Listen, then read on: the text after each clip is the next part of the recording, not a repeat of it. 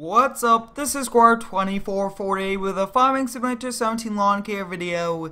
And today we'll be mowing with the Walker mower and the John Deere mower. So let's hop in the Mustang and make our way over to the lawn care shop. And I thought that this would be pretty cool to kind of drive a sports car to the shop every now and then, especially since we do have a Raptor. And I mean, that's one nice truck to use for some uh, everyday driving. But we'll kind of turn out here from our giant property that actually has some pretty nice looking fence and everything like that. So we'll pull out here, and even though we do have a sports car, we do have to watch our speed. We do not want to be speeding, anything like that. So I think we'll kind of turn over here, and today we'll be mowing a few residential lawns, and if we do have time, I think we'll kind of end today mowing a lot of trailer park houses so I think we'll be doing some of that later on today since those are some uh, smaller properties and we'll probably be using the old John Deere for those. And a lot of you guys really did enjoy the uh, setting up of the new lawn care shop and I do appreciate all of your feedback on that video. And I think for now we will probably be keeping both the GMC and the Ford and the Chevy. So I think we won't really change anything.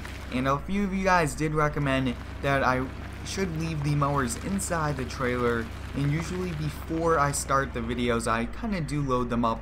But uh, I don't want to load them up and kind of leave them just outside. And just, it's a I would say it's okay to kind of leave them inside the shop. So we'll open this up and we'll hop in this, but take a look. This just fits inside this shop. And I mean, this is a 30 foot trailer. It's our largest one, and we might downsize to the enclosed trailer that I built, the 25 foot. But we'll pull out here. Now, like I was saying, inside here we do have the Scag blower, the uh, John Deere, and we also have the Walker. We'll uh, close up this door, and I really do like this shop a lot. The color match is look pretty cool, and this garage door just looks awesome. So we'll walk around and we just have enough clearance just about going on the grass. So I mean this parking lot seems like a good size, but we will be kind of adding on to it for the trailers.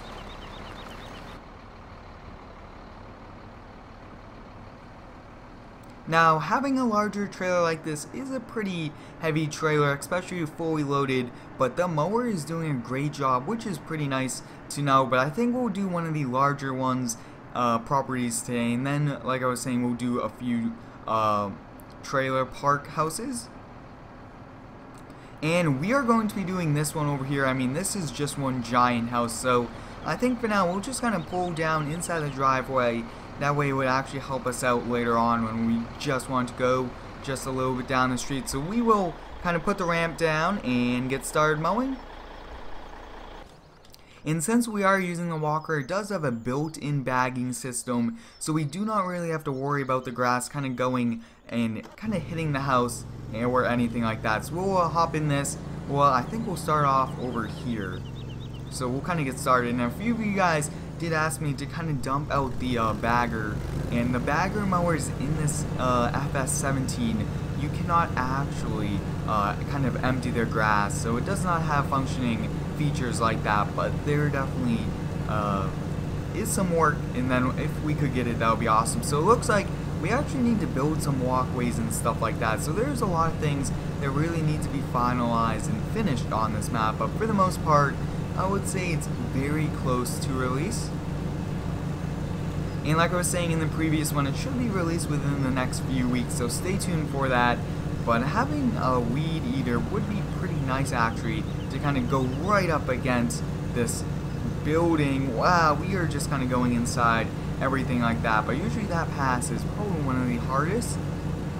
And I'm not sure exactly why it's like striping and having the patterns flower-wise. If you guys uh, see that, I'm not sure exactly why, but I'll look into that. But I think now it's the perfect time for us to kind of get started laying down these awesome stripes. And I mean, this is one giant property I mean, it has a three-car garage. If you combine all of them, I mean, it just has a lot. And I would like to thank you all for the continued support on the daily content. If you haven't already, I do recommend you follow me over on Instagram. We just hit a thousand followers a few days ago, which was pretty awesome. I do appreciate you guys for following me on all the other social media websites like Twitter and Instagram. Now this walker is really good mainly for the leaf cleanups, which I think we'll be featuring this in the Exmark bagger for a lot of those, because like I was saying, they do collect the grass, and it really does a nice job since it has a built-in vacuum and everything like that. So a few of the other mowers when I was mowing do not kind of cut larger than what the deck is. So it looks like this walker is one of those that is still kind of doing it. So I will have to look at that, but we do actually have the Scag leaf blower with us. So I think we'll probably start that up and kind of blow down the driveway. Or actually, I think that we'll kind of leave that for the next property. This walker kind of collects a lot of it in. There's not too much grass. It kind of goes on to the driveway. And look at that guys, this mower is almost tilting when you kind of drive. I'm not sure exactly why, but this mower looks really, really nice. And the mower wheels are kind of bouncing around because I do have a mod that is kind of affecting the ground. I believe it's the ground modification mod or a few other mods like that giving us a few trouble. So I don't have to look into that. But overall, I really do enjoy doing the lawn care.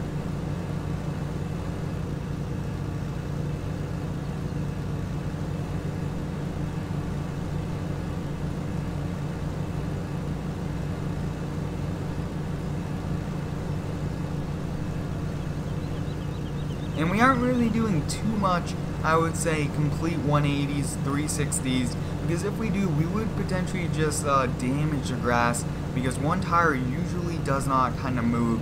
But wow, having that one wheel kind of flying around when we do turn makes it uh, pretty efficient for us to kind of turn, but it isn't that realistic. And I do apologize for some parts in farms and where it is not realistic, because I really do strive for the realism. It really does create some great content. Awesome, so we got the back mode. We're just to do the side over here and the front. And over here isn't that large, but it looks like we need to build a patio, build a few walkways, and also kind of finalize the grass, kind of take any out that you guys see in the street. But take a look at that. There's actually a carport. So let me know, guys. Should we put that carport there for the mowers? I think that'll be pretty cool.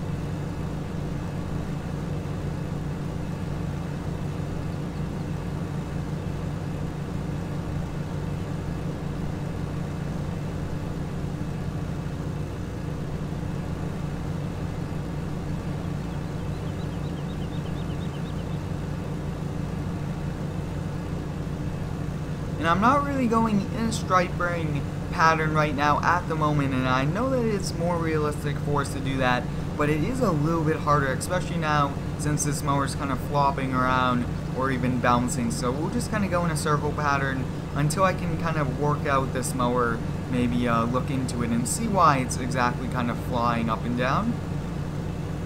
But overall this 52 inch I feel like is one of the best size decks. It's right in between the 48 and the uh, 62, 64 inch, and even I believe some mowers do come in like a 72 for like the very large ones, but we don't have any of those, which I think would be pretty nice to kind of get. But we just finished mowing here. We'll kind of drive right over there to the trailer park and use the old John Deere tractor.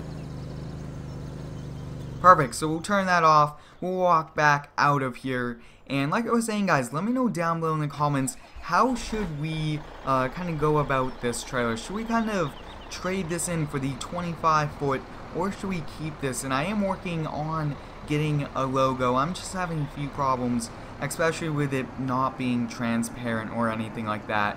We'll come to a stop here and wow, almost just could not stop there. So we're going to pull in here and there's a lot, a lot for us to do. But I think we'll just do like the middle one. We'll lower the trailer gate. And I wish that we could potentially kind of walk back here and lower it ourselves without having to be in the truck, but we can't. We'll back this off. We'll just leave this right here since we'll be loading it back up. But this mower will be uh, shooting the grass out of the right side. So we might have to use a Scag leaf blower. So I think we'll do this property right over here, this one. And like I was saying, guys, these uh, properties aren't really that large. Let's, whoa! Take a look at that. So I'm not exactly sure why this mower does it. I just remembered that it will pretty much create like a giant mountain pile. So it will keep doing it, and then it actually kind of goes away. But take a look at that, we just kind of rolled that over. That's very frustrating that we were doing that, so I think we're just going to use a walker. That is a first. It never really happened to me on camera, but looks like it did, and we kind of got ourselves stuck actually inside of the house. And I do apologize for that. Sometimes we can't really control how the game will react. Now the property line just goes right up to this tree line, so there's really not too much uh, to mow, which is pretty nice. We'll just kind of mow this and then load up.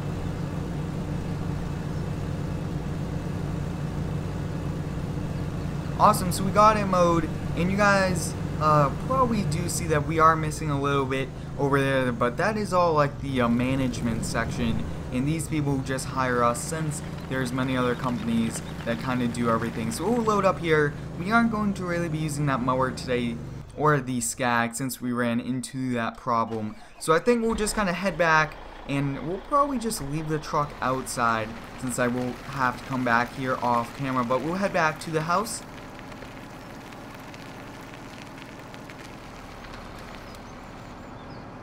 And I think having a lot of single cab trucks and one extended cab truck, I think that's the best way for us to do it.